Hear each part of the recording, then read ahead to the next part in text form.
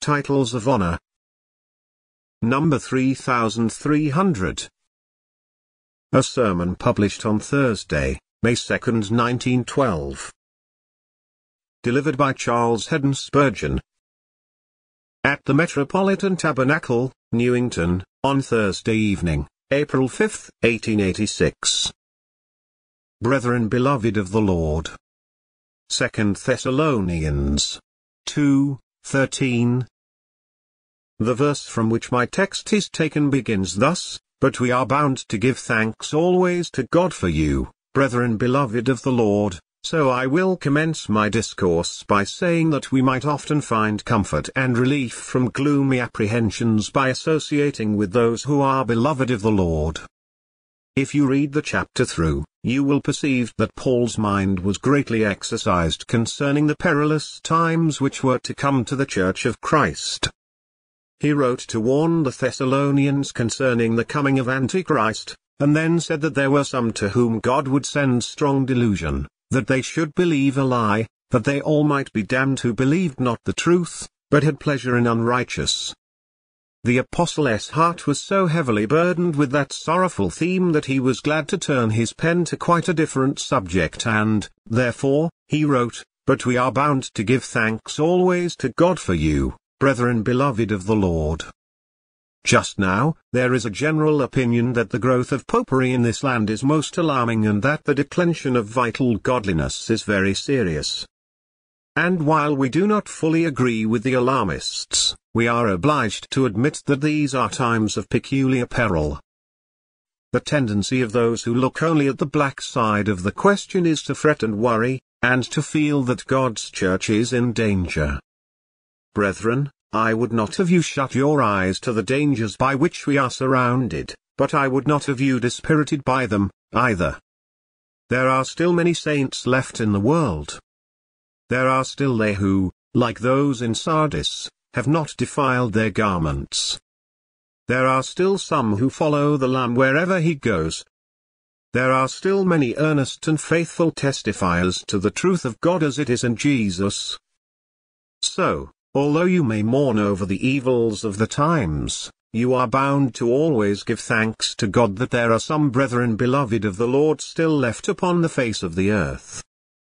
David spoke of the saints that were on the earth in his day as the excellent, in whom is all my delight. And David's Lord, our blessed Master, no doubt found no small solace, as a man, in associating with Mary, Martha and Lazarus, for he seems to have withdrawn from the multitude who mocked and scoffed and to have retired into the privacy of domestic piety, and that to have found joy and comfort in the midst of the happy family that was so closely attached to him. There are still in the world many of the precious sons of Zion who are comparable to fine gold and concerning whom the Lord says, They shall be mine in the day when I make up my jewels.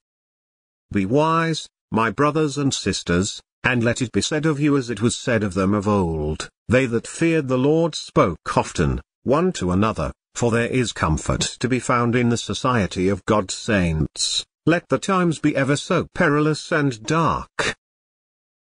But I would advance a step beyond this preliminary observation and remark that when things are outwardly not as the children of God would like them to be, and when there is much within them that is not as it should be, they may often derive much solace by reflecting upon their true condition in the sight of God in connection with the Lord Jesus Christ. Brothers and sisters in Christ, I know that many of you have grievous trials to endure. And I am well aware that if you look within, you will see much that will distress you. You will perceive that the old Adam still lurks within you and that notwithstanding all the force that has been brought against him by divine grace, he is still far too vigorous. It is true that some of you have also to suffer from poverty and that your lot is a very difficult one, yet we are bound to give thanks always to God for you, and you are, yourselves, bound to give thanks on your own behalf because notwithstanding your poverty, and notwithstanding your infirmity, and notwithstanding even the sin of which you have such cause to mourn, you are still beloved of the Lord, and in the person of Jesus Christ you are without spot, or wrinkle, or any such thing. when faith recognizes the vital union which exists between Christ and the soul and realizes the consequent blessedness and security of the saint, then it cries, I am bound to give thanks always unto God, for I am still beloved of the Lord notwithstanding all that causes me often to weep and mourn. It is my purpose, this evening, to invite all of you who are trusting in the Lord Jesus Christ to contemplate your true standing in the sight of God, that you may be uplifted from the dunghills of your complaints, shake off the ashes of your doubts, unwind the sackcloth of your fears, put on your beautiful garments of holy rejoicing and sing aloud unto him through whose grace you are made worthy to be called brethren beloved of the Lord. There are two topics on which I have to speak. First, the titles mentioned in the text and, secondly, the wearers of those titles. One first, then, let us think for a while of the titles mentioned in the text, brethren and, beloved of the Lord. Brethren is a very special word, the utterance of it awakens an echo in every believer's heart. It is naturally a silver word, but spiritually God has transmuted it into gold. I do not wonder that a certain sect has appropriated this title, yet we equally claim the name of, brethren, as our own, and we share it with all who are the children of God by faith in Jesus Christ. The title, brethren, is very hallowed and very precious to us, let us try to find out what it implies. First, it indicates a common nature. Whatever opinions any may hold concerning the unity of the human race, there can be no difference of opinion about the unity of nature in those who are born of the same parents. Where should I expect to find a person more in sympathy with myself than my own brother? Where should I expect to find, beneath the cope of heaven, another soul that should be more akin to mine than the soul of my brother? If there are not peace and love between us, where can they be found? However much we may differ from one another in some respects, there must be certain lineaments of feature or traits of character in which we are alike. But even if this is not so naturally, it certainly is so spiritually. All believers are alike partakers of the divine nature, we are all equally begotten again unto a lively hope by the resurrection of Jesus Christ from the dead. The inner life of all true Christians is the same, there is not a Baptist life and a Methodist life, or a nonconformist life and a Church of England life. The divine life is one wherever it is bestowed. The life of my hand and the life of my foot are one and the same, pulsating from the same central source and maintained by the same power. And the life of God is the same in all the members of the mystical body of Christ. This is something more than brotherhood, that idea does not cover the whole truth although it includes much of it. There is a distinct unity of nature in all the saints of the living God. Hence, brothers and sisters, I can never tolerate any attempts to limit communion between those who are really one in Christ. It always seems to me that it would be an infraction of the divine law if I were to say to a brother in Christ that I could not commune with him because of certain minor matters in which we do not quite agree. Besides, whether I am willing to do so or not, I cannot help communing with him for he is a part of Christ's mystical body of which I also am a part so that unless I could myself get out of that body, or he could get out of it, which is impossible for either of us, I must remain in spiritual communion with him whatever I may do concerning the outward and visible symbols of that communion. No, more than that, if I could go to heaven and that brother still tarried here upon the earth, our communion would not be broken, for Dr. Watts was right when he sang. The saints on earth, and all the dead, but one communion make. All join in Christ, their living head, and of his grace partake. The term, brethren, also implies a common experience. The brethren in an earthly family have the same parents, they live in the same house, they partake of the same food, they share all the privileges and varied experiences of the same household. So is it with those who are of the household of faith, the family of God. Their experiences may vary even as one child in the home differs from another, but there is much more similarity than there is diversity in the experiences of the living children of the living God. We have all been broken in pieces. We have all been bound up. We have all been emptied. We have all been brought to the cross. We have all been led by one Spirit to drink of the same precious truth. We have not all subscribed to the same creed, yet in substance and in effect, the doctrine of all the children of God is, to a large extent, identical. They rely for salvation upon the atoning sacrifice of Christ, and therein they are all one. Their pilgrim path is through the same wilderness, they eat the same manna, they drink of the same rock, they are led by the same cloudy fiery pillar, and they come at last to the same heavenly Canaan and go no more out forever. They are and they must be one, not only because they are one in nature, but because the various processes through which that nature has to pass are so largely the same. More than this, the title, Brethren, implies that we love one another. It is said that there is a lack of love in certain churches that profess to be Christian.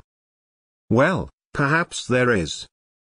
I am not going to be an accuser of the brethren in that tree. Spect, but I believe there is a great deal more love existing among Christians than many persons imagine. Possibly, those who say there is a lack of love in our midst judge by the state of their own hearts while those who really love the saints find that the saints also love them. Do not suppose, dear friends, because the preacher has sometimes to proclaim very unpalatable truths of God and because he sometimes delivers his message in stern tones, that therefore he has not a tender heart. Fidelity to the truth of God requires that it should be spoken in such a fashion as to secure public attention, and this involves the use of great plainness of speech and a manner of delivery which some may resent. And the man who honestly and fearlessly acts thus is more acceptable to God and has far greater and truer love in his heart than the one who says, Peace, peace, when there is no peace. As I hate Satan and all his works, so my soul hates every false doctrine in this church and in every church.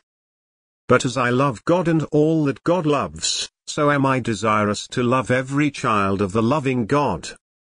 And I will further say that not only do I desire to love every child of God, but I think I really do.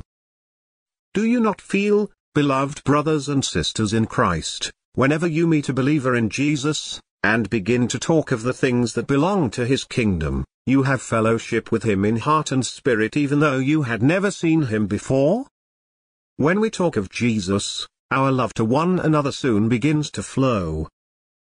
The true basis of our communion with one another is that we are there in Christ Jesus, and that union manifests itself in love to all who are, as our text puts it, brethren beloved of the Lord.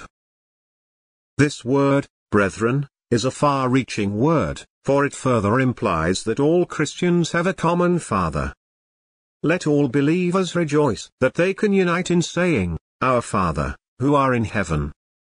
There is a straight line from my heart to the heart of God, and so there is from your heart, my brother or my sister in Christ, so our Father's heart is our common meeting place. We were there in purpose before this world was created. We are there by faith at this moment and we shall be there by blessed experience when this world has passed away and time shall be no more. Having the same Father, we share equally in that Father's love.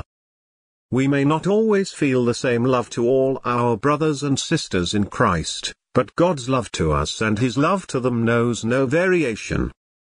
I trust you all realize that our Father is quite impartial in his love to all his children and that all who are truly members of his family through their union to Christ shall have an equal share of it. Hence the tie of Christian brotherhood become a very solemn and a very precious thing, for it not only binds us fast to our Father in heaven, but it also binds us closely to one another. I pray that the members of this church may always act toward each other as brothers and sisters in Christ. I wish that among all the saints there might be a sort of spiritual freemasonry so that whenever we might meet, we should recognize one another by the holy grip of Christian love. There are certain sacred passwords that are common to all the saints and I will defy the hypocrite or the worldling to pronounce them aright, but if he should be able to utter them with his lips, he can never really know their meaning in his heart. There are certain experiences that cannot be learned without the teaching of the Holy Spirit. There is a certain way of speaking about Christ that can never be acquired as a parrot learns to talk. There is a certain ring which God gives to his gold which is never bestowed upon baser metal, and there is a certain something about a true child of God which enables him to recognize others of the same family and which also enables them to recognize him so that when they come together, their hearts leap up at the thought that they are brethren beloved of their Lord. Perhaps I have lingered too long over that first title, so now I must turn to the second one, Beloved of the Lord. You do need my explanations here, for the Holy Spirit inspired the Apostle to give the divine explanation of this title of honor. Turn to the verse from which our text is taken and you will see that the first thought concerning the Lord's love to you is that of its antiquity, we are bound to give thanks always to God for you, brethren beloved of the Lord, because God has from the beginning chosen you. You always were beloved of the Lord. He did not begin to love you when you first repented and turned to Him. He saw you in the glass of His eternal purpose and He loved you then. That love He proved many centuries before you knew anything about it, for His beloved Son, Jesus Christ, your Lord and Savior, had redeemed you 1800 years before you were born. He gave the fullest proof of his affection for you in laying down his life for you. There was nothing in you to merit this wondrous self-sacrifice on the part of Christ, on the contrary, you were his enemies, you profaned his holy name, and despised his sacrifice after you learned what he had done. But he gave himself for you because from eternity he had loved you with a love that would not be turned from its purpose by anything that he foresaw would be done by you. In addition to the antiquity of the Lord's love to you, think also of its richness. The Apostle says, God has from the beginning chosen you to salvation. Have you grasped the full meaning of that word, salvation, beloved? It does not merely mean salvation from hell, though that is included in it, but it means salvation from sin, salvation from the guilt and power of sin, salvation from your doubts, your fears, your troubles, salvation from that besetting infirmity of yours, salvation from the devil's dominion over you, salvation in all its fullness from first to last. To all this God has from the beginning chosen you who are brethren beloved of the Lord. This is no mean inheritance, no slender portion, no slight gift, indeed, it is not easy to find words in which adequately to describe all that God has done for you in choosing you to salvation. It will need all eternity to fully explain the meaning of that great word. You are, indeed, beloved of the Lord in having such a priceless portion as this bestowed upon you. Notice, next, the wisdom of the Lord's love to you. God has from the beginning chosen you to salvation through sanctification of the Spirit and belief of the truth. Had it been possible for you to have had salvation without sanctification, it would have been a curse to you instead of a blessing. If such a thing were possible, I cannot conceive of a more lamentable condition than for a man to have the happiness of salvation without the holiness of it. Happily, it is not possible. If you could be saved from the consequences of sin, but not from the sin itself, and its power and pollution, it would be no blessing to you. But the salvation to which God has from the beginning chosen you is inseparably linked with the cleansing and sanctifying work of the Holy Spirit who operates within you through the instrumentality of faith. Your belief of the truth of God has a purifying influence upon your whole life and makes you desire to follow in the footprints of your dear Lord and Savior. Thus God shows his wisdom in the choice of the means which he blesses to your salvation, blessing you as much by the means as by the salvation itself, blessing you as much in the road as in the end to which it leads. You are, indeed, beloved of the Lord in having the Spirit of God thus dwelling in you and bestowing upon you that precious gift of faith by which you are enabled to believe the truths of God. Observe, too, in order to increase your joy in the Lord, the signs of this love. In the next verse, the Apostle goes on to say, Whereunto he called you by our gospel. Do you not remember, you who are beloved of the Lord, when you were called by the gospel. Then was the eternal purpose of God fulfilled in your experience. Go back in thought to the time of your espousal to Christ. Recall the sound of the silver trumpet that then brought you into gospel liberty. You had been to the house of God hundreds of times before when that same trumpet was ringing out the glad refrain. The year of Jubilee is come. Return, you ransomed sinners, home, but your ears and heart had been sealed to the message. But that day the Lord opened your heart and unstopped your ears, so that you were numbered among the happy people who heard the joyful sound. Your calling proved your election, and it stands to you still as gracious evidence of God's eternal love to you. Happy are we, too, if we can say with the Apostle, whereunto he called you by our gospel. I know that however many may preach the gospel better than I do, there is no one who can preach a better gospel than the one I preach, for it is that gospel which is the power of God unto salvation to everyone that believes. Our gospel is the best of gospels, the richest of gospels, it cannot be excelled, it cannot be equaled. In fact, it is the only gospel that is worthy of the name. You remember how Paul wrote to the Galatians, I marvel that you are so soon removed from him that called you into the grace of Christ unto another gospel, which is not another. That is to say, it is not another gospel and it brings only a curse both upon him who preaches it and those who receive it. But blessed are you who have been called unto salvation by our gospel. There is yet one more sign of God's eternal love which is to be seen by us in the future, to the obtaining of the glory of our Lord Jesus Christ. We who believe in Jesus are so beloved of the Lord that he will never be satisfied until we share his glory. So be glad in the Lord and rejoice in the glorious prospect that he has set before you. God was not content to choose you to happiness here, but he has also chosen you to happiness hereafter. He was not satisfied with making a little heaven for you here below, but he has made a great heaven for you up above. He has not appointed an earthly paradise where he might sometimes come to you as he came to Adam and Eve in the Garden of Eden, but he has prepared a place for you in his own home in glory that you may dwell forever in your Father's house where there are many abiding places.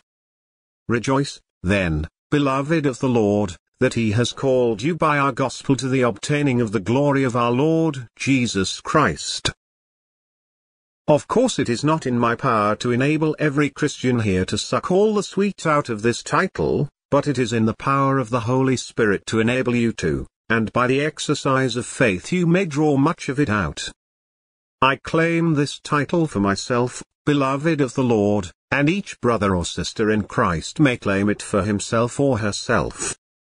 O man greatly beloved was the title given to Daniel, and that is the title that is given to every believer in Jesus. That disciple whom Jesus loved was the distinguishing title of one of his followers when Christ was here in the flesh. And now that after the flesh we know Christ no more, we are his in such a special sense that every child of God is that disciple whom Jesus loves. May you get a firm grip of that truth of God, beloved, and realize that Jesus loves you. You cannot obtain this assurance except by faith. But when you have believed, joy and peace will quickly follow upon the heels of faith. No, they come hand in hand, for we have joy and peace in believing. 2. I have taken so long in speaking of these titles of honor that I have very little time left for speaking of the wearers of these titles. Suppose, dear friends, you had all heard the gospel preached and that you understood the dignity and happiness of a Christian, what sort of a person would you suppose him to be? If I tried to picture him for you, you will see how far your ideas and mine agree. I should think you would so imagine that a man who is beloved of the Lord would be the happiest man in the world. You naturally suppose that if the eternal God has loved him, if the infinite heart of the Most High has been set upon him from all eternity, he must experience the greatest imaginable delight in such a belief and he must feel that whatever else he may or may not possess, he is rich to the fairest possible extent in having the love of God shed abroad in his heart by the Holy Spirit who is given unto him. I know that a sorrowful friend over yonder is saying, if I really could say that Jesus is mine, I would be quite content to be poor. If I were beloved of the Lord, I would not mind if I had to lie in a dungeon or even to be burned to death for his sake. So I conceived that those who are beloved of the Lord must be the most happy and joyful people to be found anywhere upon the face of the earth. I suppose, too, that the influence of this love upon them would make them very careful not to offend their loving Lord. Naturally, the love of Christ would exercise such a constraining influence upon them that they would feel that men so highly favored as they are ought not to live as other men do, but that, being distinguished by such peculiar privileges, they should be a peculiar people, zealous of good works. Without violating the proprieties of conjecture, I can conceive that the beloved of the Lord would be most heavenly minded people. Having such treasure in heaven, they would naturally not care about the things of earth, but would set their affection on things above so that where their treasure is there would their heart be also. I think the believer would be longing and panting to get a peep through the pearly gates and that until he could be there with his loving Lord, he would often be singing. My heart is with him on his throne, and ill can brook delay. Each moment listening for the voice, rise up, and come away. Further, I can suppose that the beloved of the Lord are so grateful for their Lord's love that they are constantly telling others the story of that love. And that when they meet their fellow Christians, their constant theme of conversation is the riches of divine grace. I can suppose that these people are so different from others that wherever they go, they are looked upon with astonishment. Difficulties I suppose they have, but being beloved of the Lord they take their difficulties to him and he enables them to overcome them by his grace. Trials I suppose they have, but they are sure to go to God about them and he either removes them or gives the necessary strength to endure them. I suppose they are people who compass sea and land, not to make proselytes to their particular sect, but by holy self-denial and consecrated service to glorify God and extend the Redeemer's kingdom on earth. Is not this what you are longing to do, beloved? Well, it is a good thing to have high aspirations, but it is an even better thing to turn those aspirations to practical account. Is there not something that we can do for Christ tonight? The Israelites found the manna in the wilderness, not by looking up to heaven, but by looking down on the ground. And instead of looking up to heaven for means of glorifying God, we may find opportunities of doing so all around our daily path. Let us, each one, ask ourselves these questions and answer them as in the sight of God, what can I do for God in my own family circle? What can I say about Jesus to my friends? How can I bring most glory to God in my own spiritual life? What choice gift can I bring to my Saviour as Mary brought the costly ointment of spikenard and anointed the feet of Jesus? What tears of penitence can I weep before his marred visage? What holy faith can I now exercise in his risen and glorified person? Let me, as the beloved of the Lord, with my largest ideas concerning his glory and the coming of his kingdom, see what I can practically do to show that I truly love him by whom I am so greatly beloved. I wish, brothers and sisters, that the portrait of the happiest man in the world that I tried to draw a few minutes ago might prove to be your own likeness. Some of you are sad and despondent, yet you are the beloved of the Lord. Then why are you so dispirited? You are heavy of heart tonight, but since you are the beloved of the Lord, you should rejoice in him whatever there may be to cause you present heaviness of spirit. you have been struggling with inbred sin and the fight has been so fierce that you have feared that you would be defeated, but as you are the beloved of the Lord, you must be more than conquerors through him who has loved you. Some of you have come here tonight from the workshop where you have been laughed at and mocked, you have most painful recollections of the scorn with which you were assailed this very afternoon, but since you are the beloved of the Lord, the day will come when these things will be reckoned among your highest honors. Take that, John Bunyan, said one to a certain Christian as he pushed him into the gutter. Oh, said the other, you may push me into the gutter again if you can only prove my right to bear that noble name. So may you say to those who persecute you for Christ's sake, you may do it again if it pleases you, for it would be an honor to me to be spit upon because I belong to Christ. Cultivate that spirit, brothers and sisters in Christ, and let the thought that that you are the beloved of the Lord make amends for every cruel act or word on the part of his enemies. When the last trumpet sounds, and the innumerable hosts of the redeemed are gathered together unto Christ, and you whom God has from the beginning chosen to salvation through sanctification of the Spirit and belief of the truth, you whom he has called by our gospel, when you obtain, I say, the glory of our Lord Jesus Christ, you will forget the little suffering that you have ever borne on his account and rejoice with unspeakable joy and full of glory that you are forever to be numbered among the beloved of the Lord.